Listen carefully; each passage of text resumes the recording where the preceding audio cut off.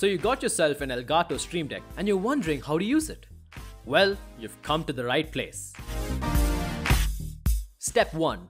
Plug in your Elgato Stream Deck to your PC. Step 2. Go to the Elgato website www.elgato.com and download the Stream Deck software in their downloads page. Step 3. Install your Stream Deck software and launch the program.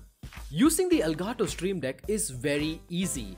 You can drag and drop multiple actions such as starting your stream, opening your favorite game or application on any one of the 15 programmable keys. You can also set up multiple profiles so that you can change it anytime you want depending on whether you're streaming, editing videos, or gaming with your best mates.